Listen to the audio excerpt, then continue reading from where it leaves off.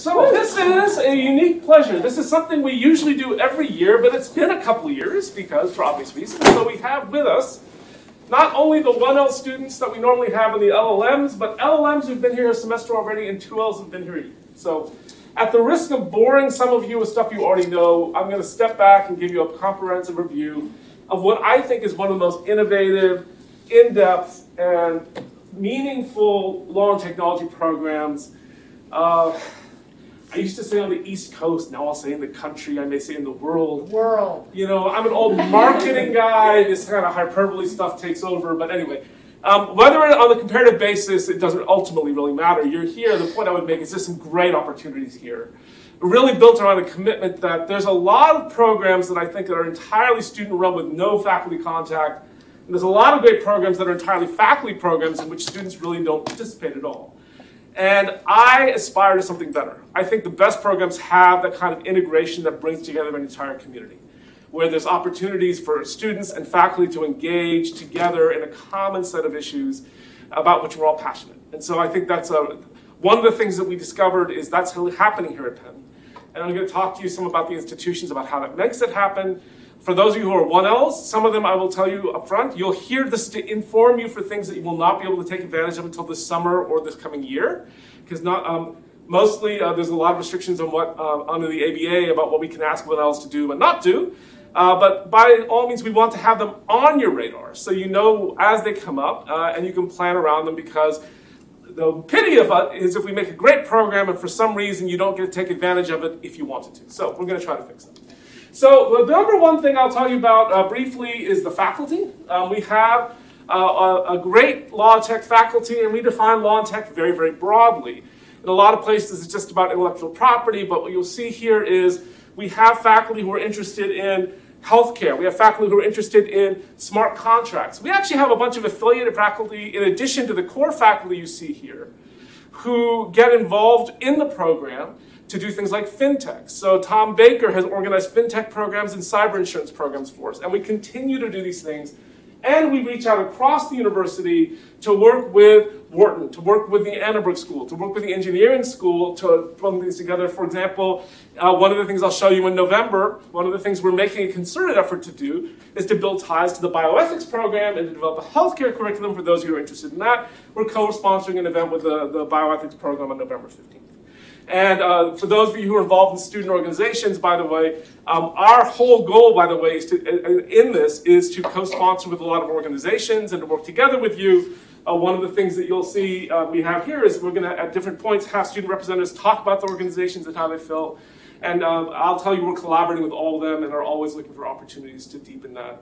Uh, your student organizations are yours as you see fit. Ultimately, it's up to you to decide uh, what student organizations do and don't do, but uh, we are wide open to it uh, on the CTIC side. So um, I could go through these all one at a time, but you can go to the center's website and pop them all up. You'll see our core faculty, you'll see the affiliated faculty within the law school, you'll see a number of other affiliated faculty from across the university.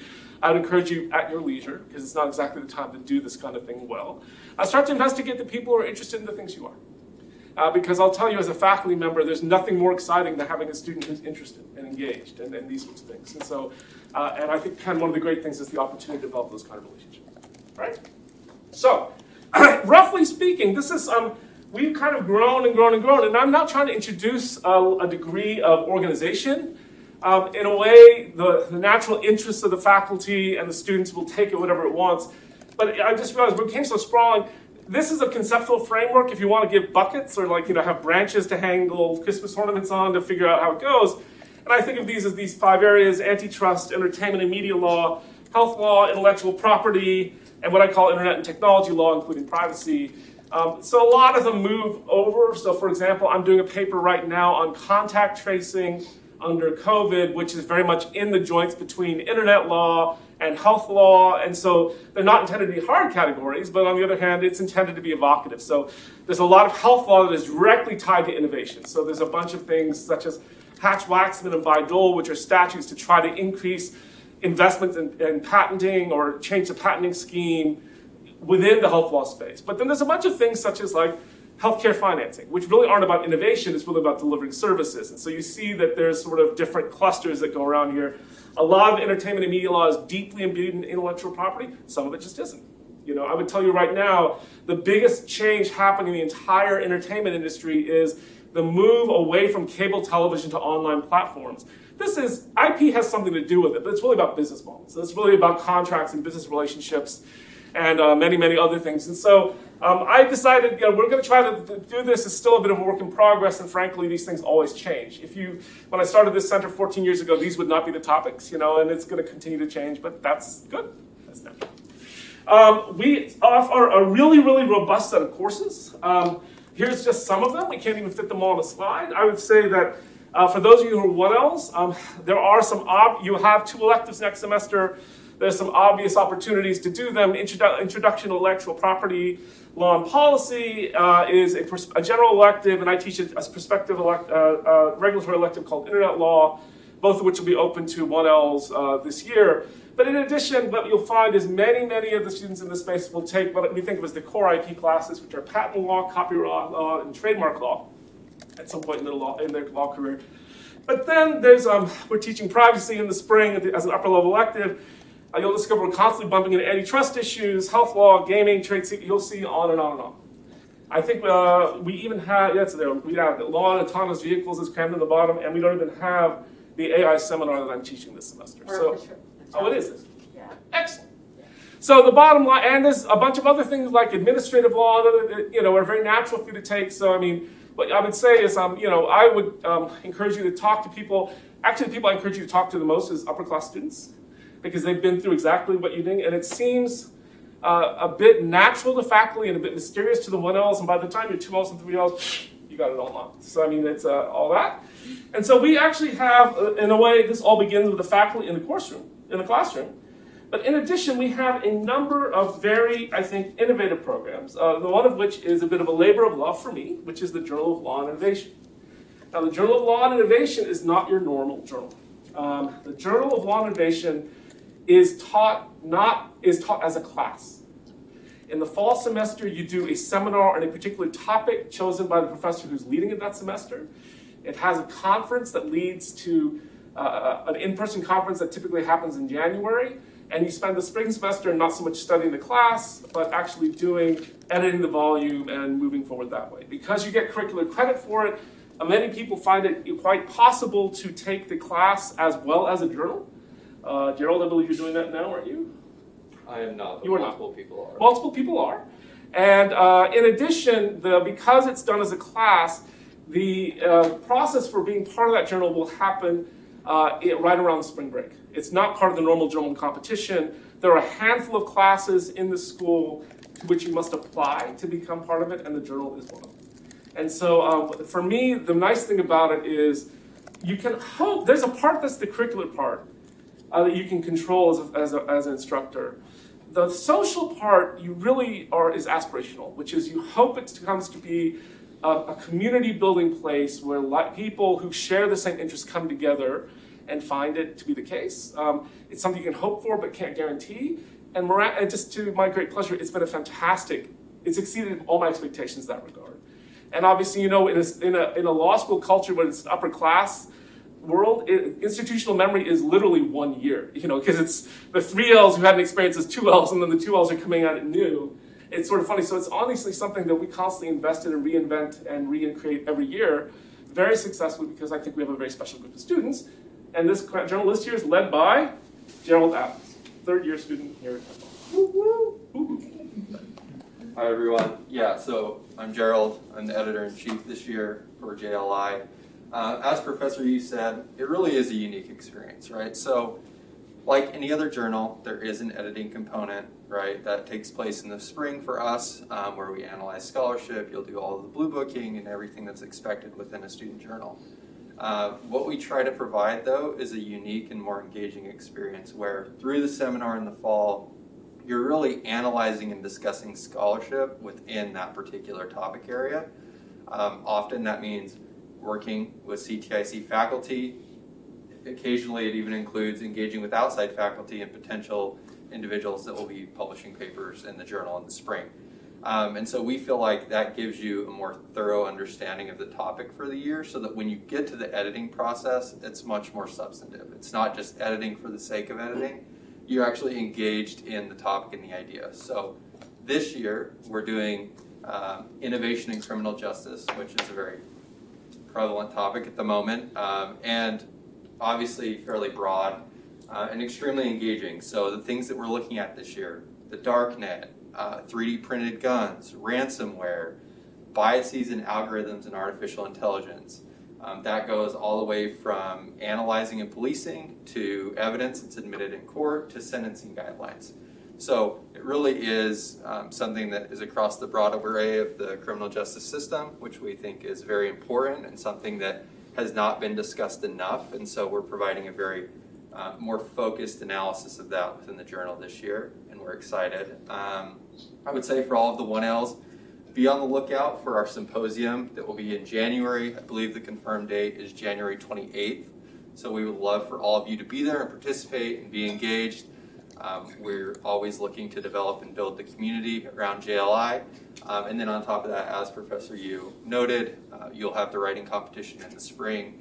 Uh, and from there, you'll be able to you know, join, join our tribe, join our group, and, and move forward. Um, we're getting very big, um, even based on last year. So it's a very exciting time to, to participate in the journal, and we look forward to meeting and interacting with all of you. Great. And we support, there's a certain number of social events in the year, team building, collaboration events, just to create a sense of community. Something Gerald said really triggers a piece of advice I'll give you generically, which is, um, so one of the, um, there's a, my second dean when I was teaching another school was a former Penn professor, his name is Ed Rubin. And he said one of the weaknesses that you can fall into is you um, everything's taught as a second year class, which is you march through a lot of doctrines. So in some senses, you'll see this for those who are one Ls and those who've been through it. On some level, when you're laying foundations, uh, not all of you are going to be, say, contracts lawyers when you get through. So in some ways, understanding conceptually what's going on, it allows you to slow down a little bit. And in the middle part, you take a bunch of stuff, you learn a whole lot of law.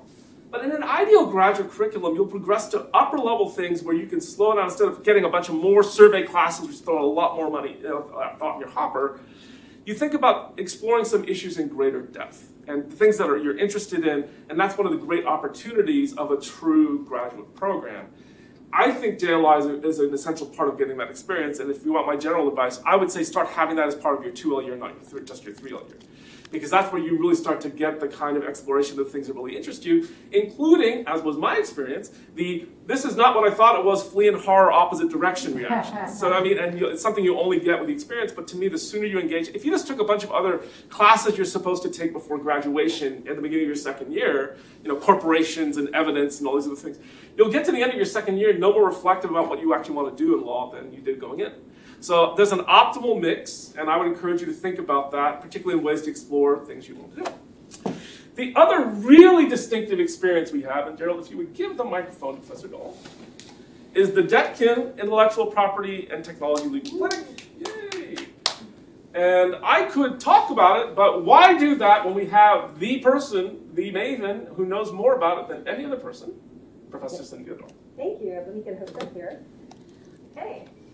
Um, hi, I'm Cynthia Dahl. Um, I teach the IP clinic, and you may not know this, but we actually have a working law firm in the basement of Silverman Hall. And the IP clinic is one of nine clinics.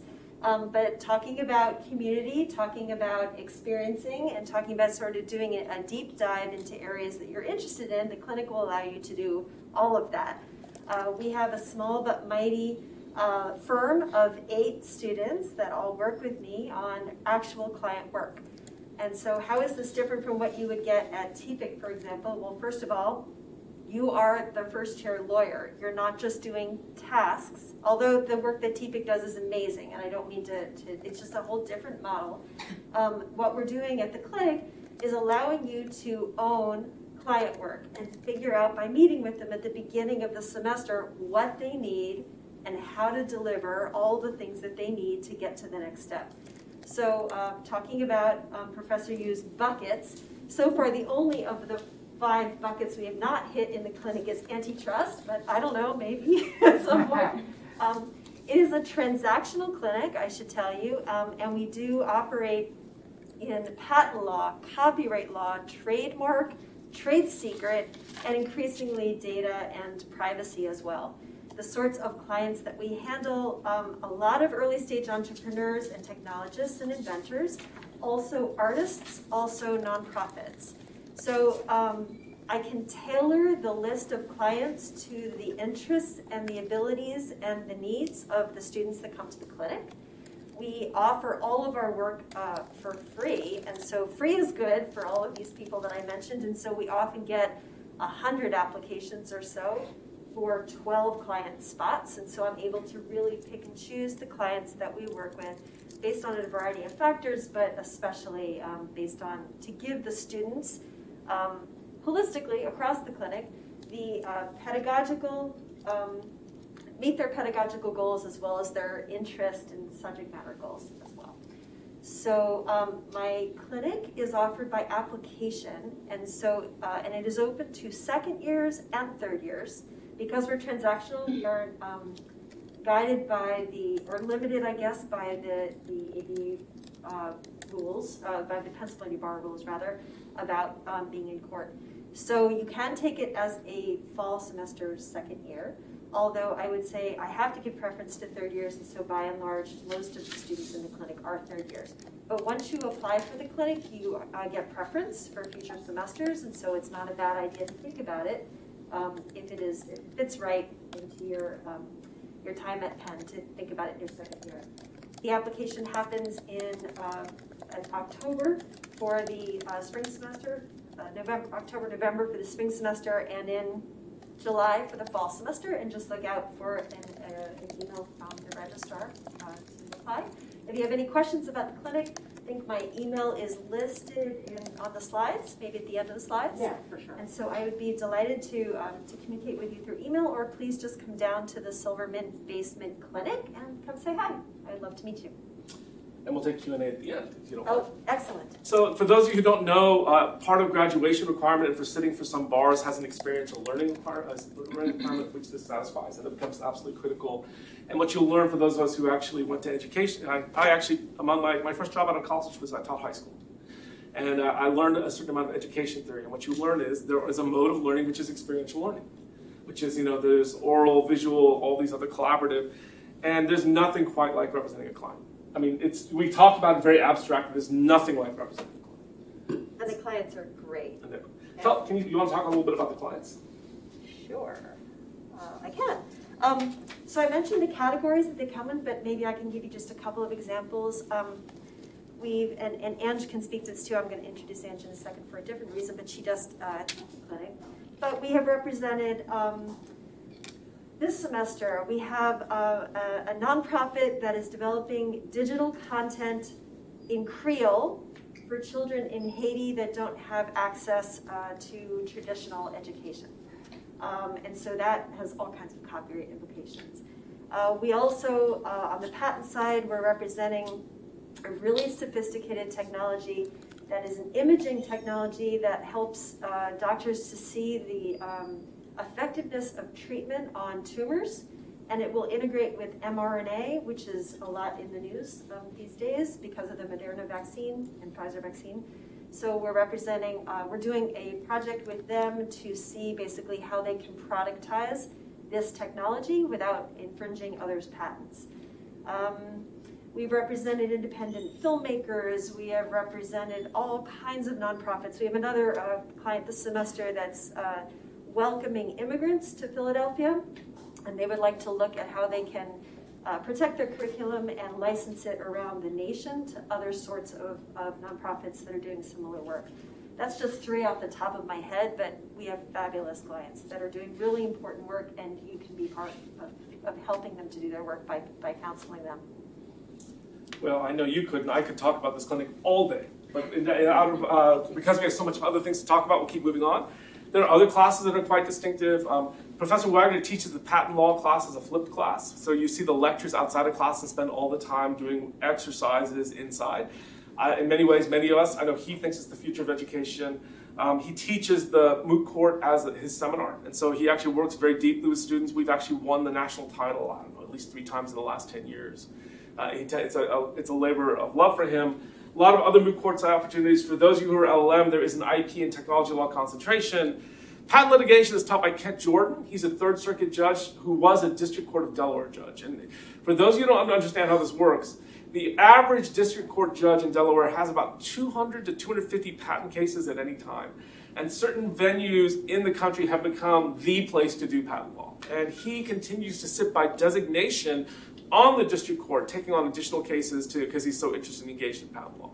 And um, he actually is a great litigator. He came out of the U.S. Attorney's Office there too. And we're very lucky to have that relationship. A whole bunch of electives I've shown you before. But these are really, that class is taught as a, an advanced elective it's kept small intentionally, required to have patent law to go with, and to really um, with some simulations, not just more, okay, here's a bunch of stuff like me doing what I'm doing right now, talking to you in front of the classroom, to actually get engaged in things in a very different way. And we're actually trying to develop classes that, in a beyond the clinic, because that not every student can take that, that actually bring in some of that to the classroom in other ways. All right? In addition to true classes, there are a number of what we call credit-bearing supervised programs uh, there's four of them that are listed here. And uh, who is the right person to talk about Law Without Walls? I don't even know. I can. Cindy. Cindy. So Cindy, you are gonna, why don't you talk about Law Without Walls, Iron Tech Lawyer, and Keiretsu Forum because you are the maven of all three of those things. Sure. Sure, And sure. And then I'll introduce people, and we Andrew have- talk yes. about people, actually. Yeah.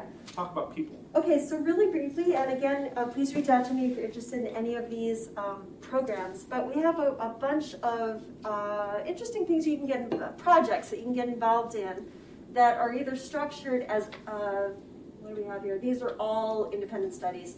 We also have externships we're going to talk about in just a moment. Um, Law Without Walls is a uh, is an international simulation um, where you, you gather with uh, teams from around the world. Um, hopefully, in future semesters, it will be in person. Uh, the last one was in Spain, but then we've been virtual for two years. Um, where you basically try to solve legal problems with tech solutions. And they like the interdisciplinary nature of bringing together lawyers and engineers and business people to all be thinking about these issues similar to Iron Tech Lawyer, but that's a for real um, solution. We partner with a nonprofit locally uh, to, to, uh, to answer their legal questions with uh, tech solutions. And the way that I run it is, is also to partner students across schools in, at Penn to, uh, to make a team to, uh, to all contribute to this solution, and then you pitch it, it's a competition. The Keiretsu Forum is an opportunity that um, is again local, but if you're interested in early stage entrepreneurship and in, in funding such entrepreneurship, you can serve on a due diligence team to help Keiretsu Forum figure out which uh, ventures to invest in. You basically attend those investor meetings. You meet with me every other week. We talk about what you've seen, and then you operate as a member of that due diligence team to try to see if these investments are sound. And then I'd like to um, introduce Ange Christiani, who's going to tell you a bit more about another program we have going here.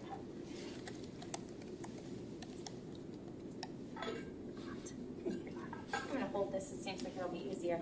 So hi everybody, I'm Ange Christiani. Um, I can fully support almost all of the programs that have been introduced to you today, having participated in almost every single one of them. Like Professor Dahl said, I took the IP clinic. It was hands down one of the best experiences I've had in law school, and I doubt that it will be surpassed. It's a wonderful learning experience, and it's a positive personal growth experience. If you're interested at all, consider taking it. But I'm here to talk to you about People, which is a unique program that Penn has. And from my research, no other university or law school has something like it. So what we do is students from the law school partner with senior engineering groups at the undergraduate school and we discuss with them projects that they're working on involving technology or new IP. And we basically do a baby clinic. We talk to these engineering students, we learn about the tech, we learn about their business model, and then we simulate counseling as their in-house legal counsel, telling them, here's what I see as a potential IP issue. Have you considered licensing this tech? Have you considered where your business model is going to go? Who do you want to contract with and how do you want to contract with them? We talk to them about liability concerns and opening themselves up to lawsuits, Perhaps they want to minimize that um, exposure. So this is a great program to get into if you're thinking you're not sure you want to do a clinic. This would be a great first step to see if you like that client engagement in a very low risk environment. The best thing about People is it's one credit every semester for four semesters should you choose to engage in it as an upperclassman. This year we've changed the program a little bit and I'm allowing 1Ls to come and shadow to see what we do, not for credit, just come if you like the idea, if you think several people in the audience, yes, are participating in this. Um, if you're interested, reach out to me. We'd love to have you. And we're also thinking about engaging in a separate portion where you don't participate as a class. We're looking to grow it to be more of a social engagement and club on the outside. So come talk to me. I can talk to you about anything that we've talked about so far and about people. We'd love to have you. Fantastic. Thank you. And Angie's email address is also Yep. on the slide, which I, As it will be on the last slide of every student, every person who will speak to you today. So um, don't worry, we'll get that to you.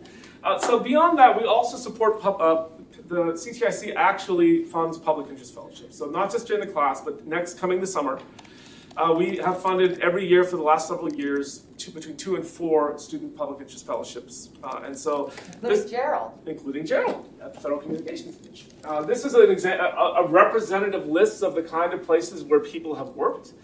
Um, uh, it is not all of them, uh, but by it's one of those things where we've actually also helped people uh, find the positions because one of these things like you know, um, at a minimum we can connect you to the students who did it before because um, I actually have ties to the DOJ Antitrust Division, for example, but I don't actually know who to contact about uh, the process of getting an internship. But one way or the other, we I have given ideas. I've actually given contacts. It's just a matter of making that work. Obviously, on that, there's no guarantees. And if you're interested in something that I just don't know that many people in, it's not going to happen. But a lot of it's something we're willing to support. I mean, and as much as possible to take advantage of that. And I think this has been Professor Dahl actually uh, placed Richard Hildreth, Yep. uh, former president of PIPG at Wistar, yeah, several summers ago. which is a cancer research institute or beyond that. Uh, Yes. Here on Yeah. campus. It start anyway. And if that's interesting, that's actually even available as we'll talk about um, during the semester in two slides. So in addition, we actually have a number of relationships with companies. We have we tie in with people who these are places that some of our students some of our students have worked in the last several years. Um, by all, we are keeping a database of contact information so you know which who to contact. Often that's all you really need. And in addition, we have a relationship with certain employers right now, with certainly with AT and I'm in discussions with Facebook, who actually want us to set up a more formal relationship, referring them students. If you're interested in doing this on the, that side, you can also work for a firm. I actually, if you ask me, if I had a choice, in a, particularly in a one L summer, between working for a law firm or one of their clients. The law firms who are interviewing you in the fall of your second year are going to be much more interested in you for your experience with a client because they're the people they're sucking up to, as opposed to working with another lawyer, which is a fairly interesting experience. Not everyone will agree with that. Get a lot of advice on things like that, but you know I think that's a pretty neat opportunity, and we've had a lot of luck. We have, again have a lot of relationships that we can try to support you with this. Semester-long opportunities, in addition to individual classes, there are a number of relationships we have. The, you we, the Tsinghua University is one of our exchange programs. Uh, it's very rarely done, but they actually have an intellectual property program taught at the graduate level in English. So if, you're, if you think that uh, Chinese IP law is the future, as many people do, um, that's an opportunity. Penn Center for Innovation, again, Professor Dahl is the primary contact. That is our tech transfer office. Uh, we have sponsored uh, interns there for a semester, as with Wistar. Uh, the Internet Society is an organization with which um, I have personal ties. They have headquarters in Reston, but also offices in Geneva. They've been asking for people, and if it's like this on an ad hoc externship, there's some. It can be done. There's a bunch of hoops you have to jump through to be able to be in residence there for the entire semester. And frankly, uh, in this day and age, I think uh, the one experience thing that COVID has succeeded in doing has made us much more tolerant of hybrid situation. So I could see something happening where you could arrange to do this during the semester by not being fully in residence, but doing it periodically because we've just had to learn the hard way how to do all this. EFF has been asking for us to send someone to Northern California for years. We've never quite done it. ACLU, Northern California, and there's some other things as well. So these are opportunities which do require a fair amount of initiative on the part of the student to pull it together. but they are open to you. So if it's something you're interested in pursuing, uh, and we'll figure out the timing, we're happy to support it and happy to encourage you to do. Uh, let's see where am I? Student organizations. One of the other things that I, I'm very proud of is the ties that we have in this space between the faculty and the student organizations. But rather than hear me say that, it makes more sense to have you hear from them directly about um, what they're doing and uh, their connections with the overall community. So let's start with, since PIPG is at the top, Nicole, are you going to talk about it? Sure.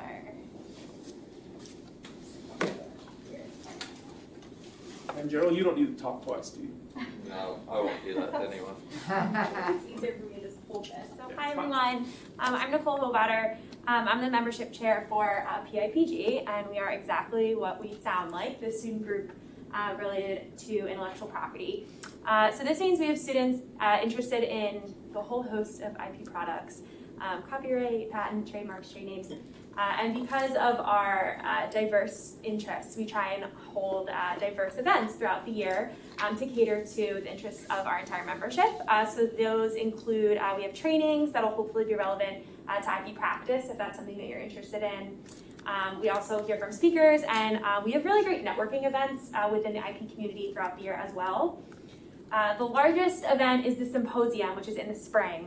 Uh, which is dedicated to a different topic each year, where we have speakers who are experts on our topic come um, to you know to speak with our students and also to provide opportunity for discussion. The symposium topic for this year is still TBD, but we've had really great um, and interesting symposium topics in the past. Uh, we had a symposium on I think the intersection of AI and IP, one dedicated to innovation. Um, we had one dedicated to media and its impact on IP. So very uh, broad uh, topics that will hopefully you know cater to a wide variety of interests. Um, so if this is something you're interested in, you know, we really encourage you to get involved. Um, my 1L year, it was a great precursor to the IP elective in the spring. Um, it also just kind of introduces you to the general community and provides an opportunity for networking. Our 1L and LLM uh, representative applications are open. Gerald sent them out, so if you didn't get them, let one of us know. I think they're due October 8th, which I think is next Friday. Um, and uh, those opportunities for involvement really pertain to social media. The group runs its own blog, um, planning events throughout the year, and then also planning the symposium, again, our largest event. So, if, uh, you know, we hope to hear uh, to hear from you and to meet you and interact with you all. Terrific. Uh, fantastic organization. We're lucky to have it. Niall, Penn Law STEM Club. It's interesting. It's the Penn Law STEM Club. I always thought it was the Penn Law STEM Club. So uh, my name is Niall Delso. I'm a second year student, uh, and I'm on the board of the STEM Club. The STEM Club is really nice because it is a very relaxed, a very informal, um, professional and academic uh, sort of mentorship resource group. Um, so I think what the, the strongest part of our group is is really the the big network of students that we have. I mean, we've been talking a lot about all of these different opportunities, and I know that when I was starting my first year, it was sort of intimidating how anybody does one of these, let alone four or five of them. Um, but the truth is that it, it really is possible. These are all awesome opportunities, and a lot of people have done these things, and, and that's sort of the, the network that we like to promote. So throughout the year, we have a lot of really um, informal, small um, setting um, events throughout the year. I think early in the fall, they'll sort of relate more to your classes. Um, I think we, we want to have an, an outlining and, and sort of a, a how to 1L session early on, just recognizing this is a, a career change for um, a lot of people. Um, and then, sort of in the winter, as you look to maybe your first year um, summer job opportunity, um, you can look to our alumni and, and, see what they've done in the past, and, and we'll definitely um, coordinate some conversations um, amongst the group about um, opportunities available to you. And, and then, obviously, not something you should be thinking about right now, but, but what you're going to do in, in your second year and even going beyond. So, like I said, our, our, strong point is really the, the network of, of alumni that, that we have.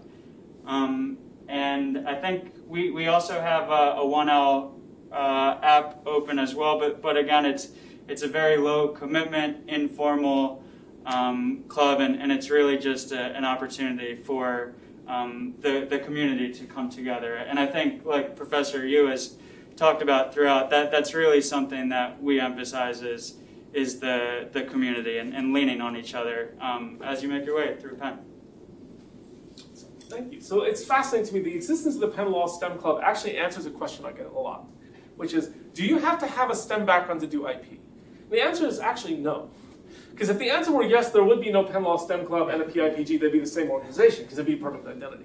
What we do find though is there's a separation. One, there are plenty of STEM students, non-STEM students who do IP. The flip side is there are plenty of STEM students who don't do don't do it the other way around. And what I've become aware of is it's an interesting. I think of it more as, a, as much as an affinity group because STEM students experience law school in a very different way. It's like uh, you're gonna have to read 25 pages per class per day. It's like what? That's not something. St- you know, you're going to get a grade at the end. There's no problem sets. You know, and the idea you're to have to write papers on the 25. You know, this stuff is very alien to many students, and it's in some ways it's uh, it's just a different set of expectations. And so, to me, they've been a great resource for those students. If that's your background, I encourage you to talk to them. Uh, we there's some really neat opportunities we have that are distinctively about appropriate for STEM students, and we communicate them with Niall all the time. And it's just been a, a wonderful collaboration. And it goes to show that we're in multiple overlapping communities. Not all of us will fit into all of them. But the point is, at the same token, we're enriched by having different ones with slightly different focuses so they actually match up with what you need and what you're interested in. All right. Vivian, uh, Penn Law, one of our newest association, uh, student organizations in the space is the Penn Law Antitrust Association. And if you would. Hello everybody, I'm Vivian. I'm an LLM student from Brazil. And as Professor Yoo has said, this is one of the newest student group in at Penn. It was founded this year, and the idea is to discuss like the hot topics and the current discussions with antitrust. So as you may have seen, we have several discussions regarding Google, Amazon, Epic Games, all these kind of related IP discussions. So that's why so far our group is more focused on in the digital and digital sector, uh, sector and also the big techs and discussion with related to antitrust. So just to give you some examples with what we have done and we, what we want to do in the future. So the first semester, we hosted a panel with the head of regulatory office from Uber in Brazil, and he came to Penn by Zoom, doing like, and he did a speech how was the, all these big platforms, especially Uber, was dealing with all the antitrust challenges, and also how it relates with like data privacy and intellectual property issues. And in October, just already advertising our, our seminar, in October 29, we're going to host the first international conference related to antitrust. And the main focus will be like the driven of the event will be related to digital platforms. So just to give you some insights what we're going to do, like we're going to have, one of the panels, we're going to invite several antitrust authorities. So try to give how the antitrust agencies are dealing with digital, digital markets. For instance, all these kind of investigations with big platforms and also killer acquisitions. Let's see, a killer acquisition when, when you buy one company, just excluding the market and not to compete. Another panel we're going to invite from uh, private sector to talk about unilateral conducts related to the cases they work. And another one related with blockchain uh, artificial intelligence and antitrust. We have the presence of Professor Yoo and also Giovanna over there. They will be the speakers in addition to Professor Chimbo from Stanford also. And so it will be a, great opportunity and to for you all to attend to join here. So just to finalize here, just conclude to, to final comments. So we since we are very a new group here, we are really open to LLMs, 1L, 2L, 3L to join us and open to discuss and to shape and build this, this organization. And also since we have many LLM students involved in this group, like from Colombia, Brazil, India, Greece, uh, China, this is like a great opportunity also so you, for you to connect with people that already work and study from different countries so you can see from different perspectives about how the other uh, jurisdictions is dealing with regarding antitrust and IP law discussions. So welcome all and feel free to contact if you have any questions or not. Thank you. And, and logo pending. Yes, and we are working on the logo. we're, we're sticking for the school approval, so pretty soon we'll have a logo as well. Next year. So um, just so you know, it's interesting. Uh, when I grad, my best friend from high school wanted to be an antitrust lawyer and didn't do it because antitrust was dead. And Josh Wright, uh, who was just stepped out as the FTC commissioner not that long ago, wrote in a blog, he's an antitrust professor, said, what happened? Used to be one of those vital dynamic areas of the law. And if you'd asked me even 10 years ago for advice, whether to do it, I'd say don't do it. That advice is obviously no longer true. But competition's in the name of the center for a reason. Well, that's yeah, it's a, a, personal interest of mine, but it's one of those things where it just goes to show if you stand still long enough, you know, all this 70s stuff has gotten cool again, and you know, I'm old and this is all coming back around. But the point I would make is, in addition, this is an astonishingly good place to do this. Herb Hovenkamp is the world's leading authority on antitrust, sort of bar none. Aviv Nevo is a former head of the antitrust, chief economist. He's in economics and Wharton, and we're building ties. Uh, uh, there's a university professor who's called the Penn Integrates Knowledge Professor named Rakesh Vohra, who's jointly appointed in economics and engineering. And we're all working together to really get this interdisciplinary idea to think that you can't just study it from one perspective. And, and we're actually working on a foundation uh, on a grant called the Economics of Digital Services. So, I mean, there's a lot of interesting things going on there, too, in a way that wasn't true in the past. All right? That's our organizations. I'm sure there's more we could say, and I'm sure that there's other uh, ones we have relationships with that we're working on that are less, but we'll let it go with that and uh, move on to this.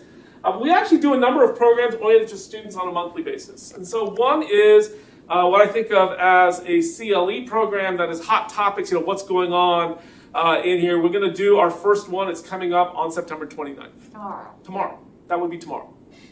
Uh, and uh, we'll, it's usually our preview of the year, looking forward across. There's four different people talking about very, very different things and I'll talk about them when we get to that slide at the end. And you can see these are the kinds of things we've done in the past. You can see this, they cover the gamut, and we already have at least one uh, plan in November on the healthcare space, which I'll show you as well. In addition, at noon, keep your eyes open, and I'll also talk about the first one of these is coming up. We will do a monthly career series. So um, as much as I love contracts, torts, and civil procedure, they don't actually give you much of an idea what it means to practice in these spaces. And so I remember when I got to my end of my first year, I realized that I didn't know anything and I didn't know how to think about this. Uh, and so autobiographically, I'm determined not to let that happen to you. And so one of the things we're going to do is bring in a disparate set of speakers. Our first one's a patent litigator. We'll bring in people from all different parts of the tech industry, firms, companies, government, private interest, you know, privacy, antitrust, venture capital, everything in between, just to give you as broad a sense as possible. We bring we change them every year. So even if you've been last year, you'll continue to see more. Uh, encourage you to come to that. We mentioned the Journal Symposium and the PIPG Symposium, which we also support, and in addition to other events. There's a lot, and specifically these are the events. Um, we are co-sponsoring with the Federal Society an event on state efforts to regulate social media, publishers, or common carriers, uh, which is coming up at noon tomorrow, in person, in FITS. Uh, tomorrow night or evening, late afternoon at 4.30, we're doing our first uh, you know, emerging issues event online, so you don't actually have to be here. And so uh, if that makes it easier, uh, Professor Allen is gonna, has a new paper coming out in the Yale Law Journal on platform governance and the role of privacy. Professor Hovenkamp is going to talk about all the hot new issues going on in antitrust. Um, Gideon Parchomovsky is going to talk about Google versus Oracle, which is the most important copyright case for years.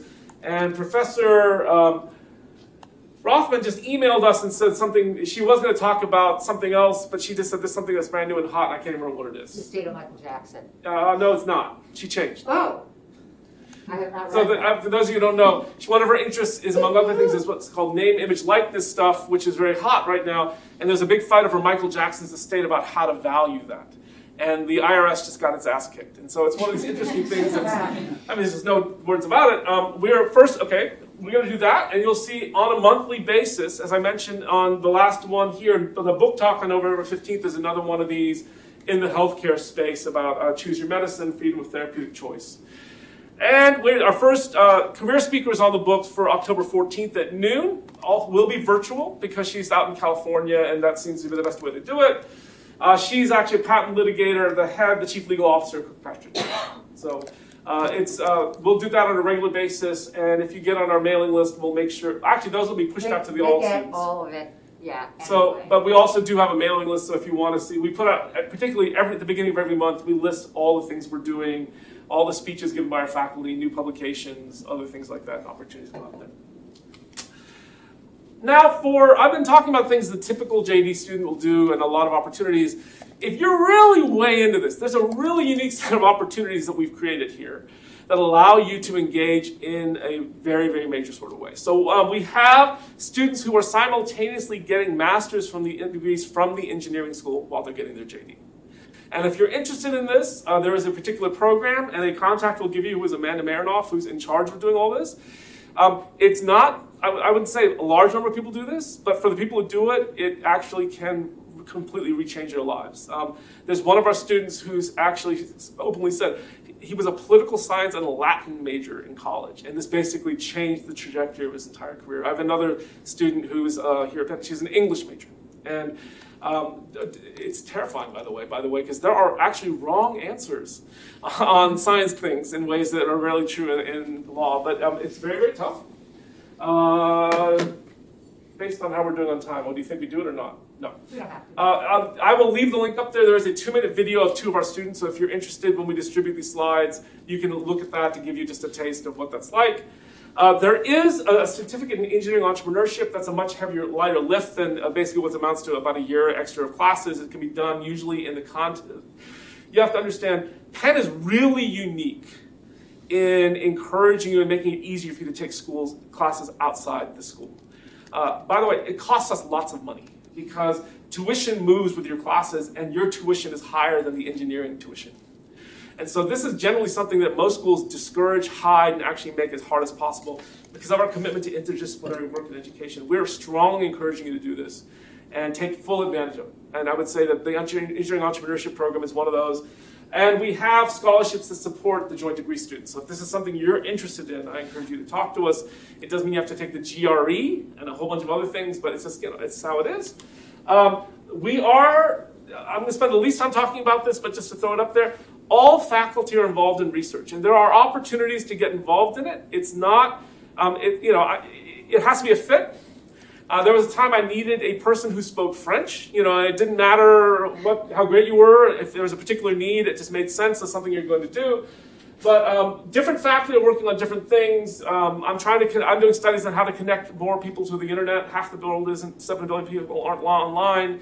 As I mentioned, uh, economics and digital services, antitrust is hot, algorithmic uh, discrimination, internet routing security. Uh, two of our faculty are doing work on empirical patent law, private law theory, publicity, trademarks, you name it, privacy. Um, and what I would encourage you to do is to think about this as a great opportunity, either uh, this summer as an independent researcher writing, supervising a note and comment in a journal, um, taking seminars, all these sorts of things to get to know people. And lastly, we, order, we do organize on the faculty level purely scholarly events. Uh, many of these are not open to the public even. They're sort of closed workshops that are, exist. Uh, but we do them in computer science, copyright. We have a global patent law conference in Japan every year. Uh, we do, we're actually, uh, along with Stanford and Northwestern, on a rotating basis, host the Junior Faculty Forum for Law STEM Scholars, where we're hosting actually on the 15th and 16th of October.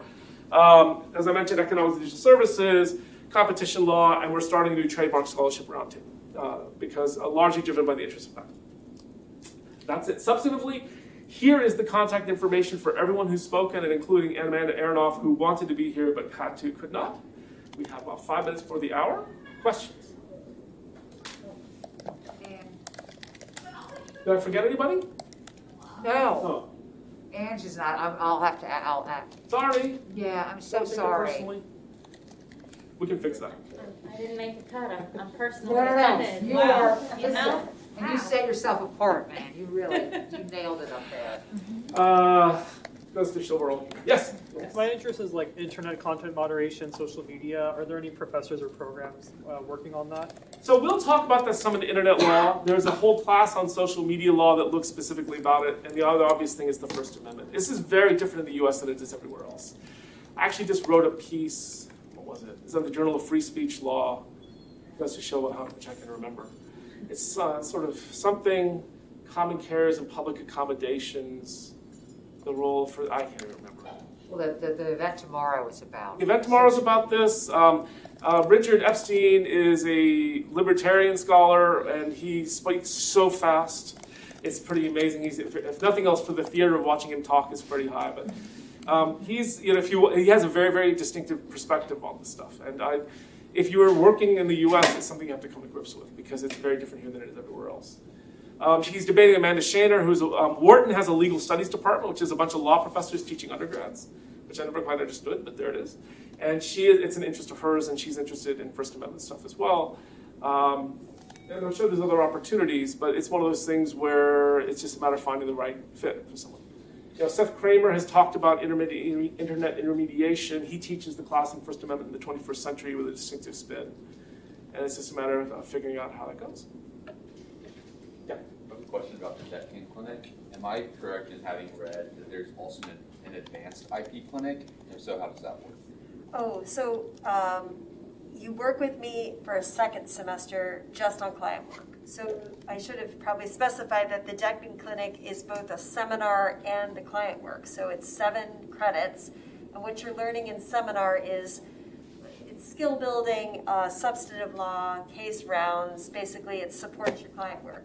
If you've already been through that, um, then you can just sign up to do additional client work. Sometimes you're carrying your client over to another semester. Sometimes you're getting an additional experience, but it's just uh, uh, another credit bearing uh, second semester of clinic that you do with me. Great, thank you. Please. Um, I'd love to learn more about the semester-long opportunities with the variety of organizations like the ACLU, EFF. Are those taking place, or do they replace your classes? So are you graduating a semester later? Is it remote, in person, and what is the process to getting involved? So, to be full disclosure, I've developed this opportunity with students, but no one's ever pulled the trigger. Okay, so it, the, the, the vision inherent in this is you spend a semester in residence in the place you're going. And to do that, you have to take a certain number of independent studies, but there's a cap on the number of those. You probably have to do an externship experiential thing as an ad hoc externship because the standing ones that you have every year don't have to get approved, but there's a it's not hard. It's just hoops. And you have to cobble together sort of, if you will, this very distinctive set of four classes that allows you to do it remotely uh, without, um, but still be a full-time student. And it's actually, I've never done the exercise now, it's got to be easier now. Because our willingness to entertain possibilities, both as a regulatory matter from the ABA, but also as a curricular matter, has got to be much, much looser. And so um, it's been amazing. Um, teachers of all kinds, whether it's from kindergarten up to where we are, are not the most innovative group all the time. And this has really forced us to try new things. This has been kind of fun. Um, that's something we should have a specific conversation about to figure out how to do it. Yeah, please. Um, so I noticed that the student organizations, I feel like, have a specific area that they're targeting. What if you have like no idea which one you want to do? I guess like what is the approach there? Well, I'm sure some of them, some of you had no idea what you wanted to do. How do you handle this? How do you navigate this? Well, the nice thing about student groups is, yes, we do have focus areas, but it's still broad and casual enough that we have plenty of people. So, PIPG, for instance, we have plenty of people in PIPG that don't necessarily know or want to be patent lawyers. They're just trying to get exposure to the content. Given how limited the commitment is, right? It's not a huge barrier or burden to students. I really recommend at least joining multiple clubs to see what it's like. No one's going to hold it against you if you decide it's not for you. Um, and then additionally, JLI provides a wonderful experience in the journal where it really is broad within the purview of technology, but that's kind of full stop where it ends.